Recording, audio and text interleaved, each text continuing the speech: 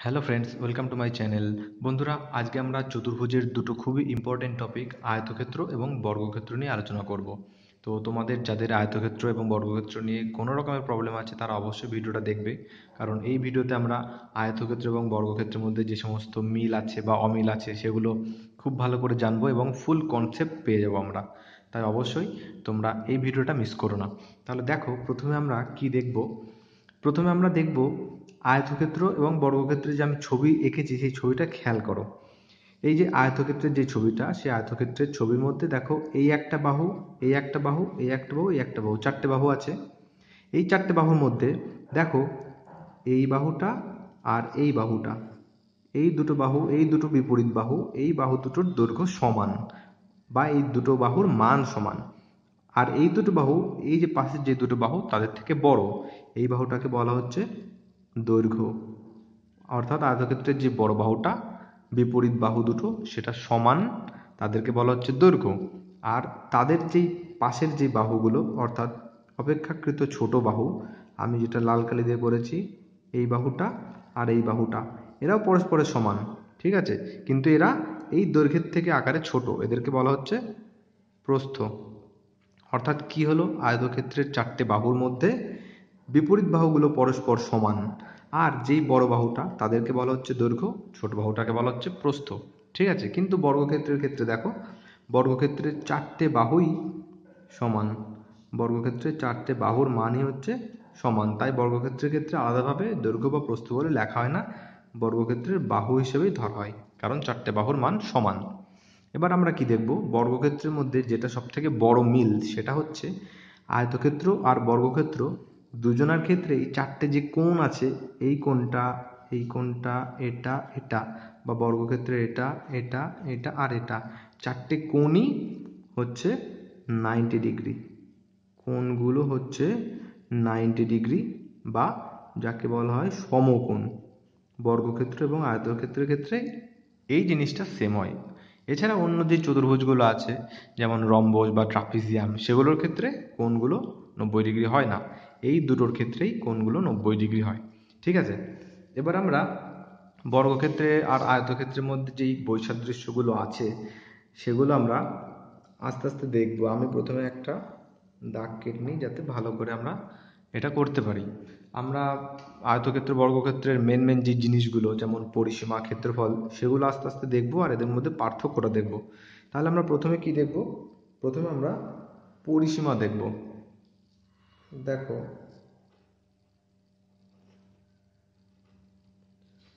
পরিসীমা। আমরা আয়তক্ষেত্রে পরিসীমা দেখব এদিকে, বর্গক্ষেত্রে পরিসীমা দেখব এদিকে। তাহলে আয়তক্ষেত্রে পরিসীমা মানে হচ্ছে এই যে চারটে বাহুর যোগফল। তাহলে চারটে বাহুর যোগফল যদি আমরা করি, তাহলে আয়তক্ষেত্রের ক্ষেত্রে কি পাবো? আয়তক্ষেত্রের ক্ষেত্রে পাবো আমরা দৈর্ঘ্য। এই বাহুটা প্লাস এই বাহুটা হচ্ছে প্রস্থ প্লাস এই বাহুটা আবার দৈর্ঘ্য। প্লাস এই বাহুটা আবার প্রস্থ। অর্থাৎ আমরা কি পাচ্ছি দেখো? দুটো দৈর্ঘ্য, দুটো প্রস্থ। অর্থাৎ আমরা এটা লিখতে পারি টু ইন্টু দৈর্ঘ্য প্লাস প্রস্থ। এটা আমরা আয়তক্ষেত্রে পরিসীমার ক্ষেত্রে লিখতে পারি। বর্গক্ষেত্রে পরিসীমার ক্ষেত্রে কি পাবো?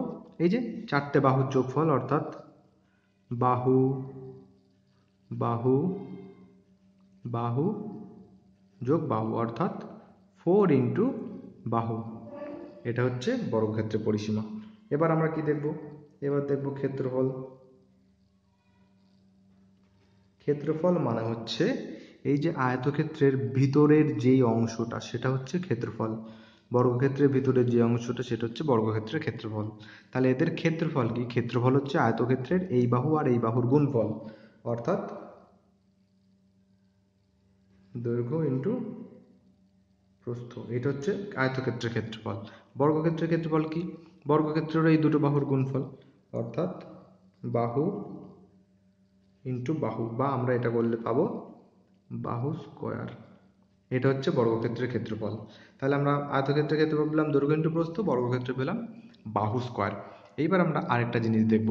দেখো, এবার আমরা দেখব আয়তক্ষেত্র বা বর্গক্ষেত্রের কর্ণ। এটা খুব ভালো করে খেয়াল করবে। কর্ণটা কি?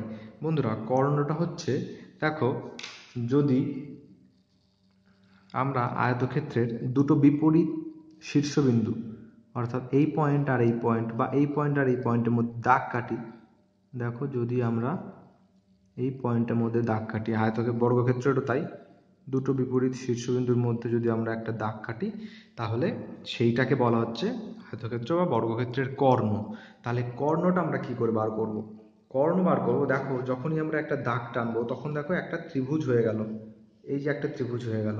এই ত্রিভুজটা কি ত্রিভুজ? তোমরা অবশ্যই জানো, এই ত্রিভুজটা হচ্ছে সমকোণী ত্রিভুজ, কারণ একটা কোণ সমকোণ। তাহলে সমকোণী ত্রিভুজের ক্ষেত্রে অতিভুজ বার করতে গেলে আমাদের একটা সূত্র প্রয়োগ করতে হয়। কোন সূত্র?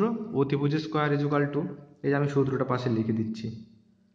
অতিভুজের স্কোয়ার ইজুকাল টু লম্ব স্কোয়ার প্লাস ভূমি স্কোয়ার এই সূত্র দিয়ে কিন্তু আমরা আয়তক্ষেত্র আর বর্গক্ষেত্রের এই যে অতিভুজ সেটা বার করতে পারব। তাহলে আমরা দেখি কীভাবে বার করতে পারি।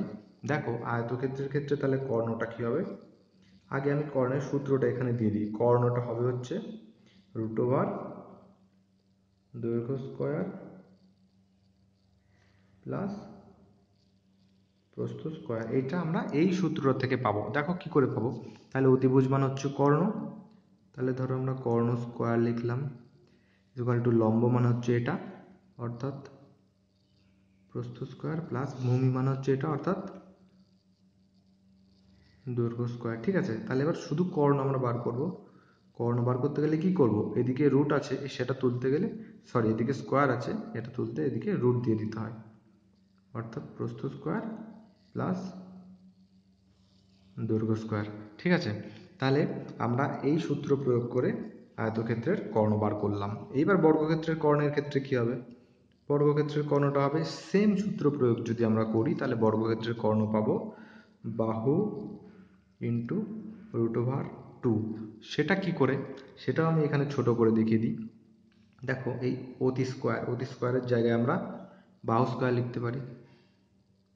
সরি কর্ণ স্কোয়ার লিখতে পারি। কর্ণ স্কোয়ার ইজুকাল টু বাহু স্কোয়ার প্লাস বাহু স্কোয়ার যেহেতু বাহু সমান, তাহলে এখানে টু ইন্টু বাহু স্কোয়ার হয়ে গেল।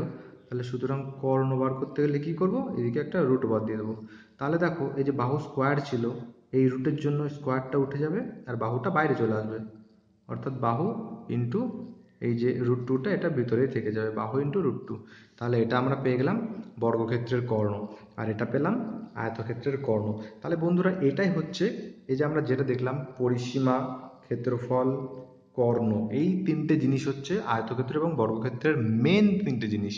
এই তিনটে জিনিস যদি তোমরা ভালো করে মনে রাখতে পারো, আয়তক্ষেত্র, বর্গক্ষেত্রের সমস্ত অঙ্ক হয়ে যাবে, একটুও প্রবলেম হবে না।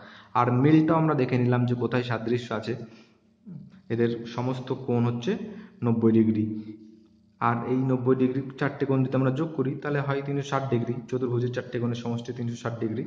এই আয়তক্ষেত্র আর বর্গক্ষেত্রের সমস্ত কোণগুলোর মান নাইনটি ডিগ্রি তাহলে বন্ধুরা আশা করি আয়তক্ষেত্র এবং বর্গক্ষেত্রের মধ্যে সমস্ত সাদৃশ্য, বৈসাদৃশ্য বুঝতে পেরেছ।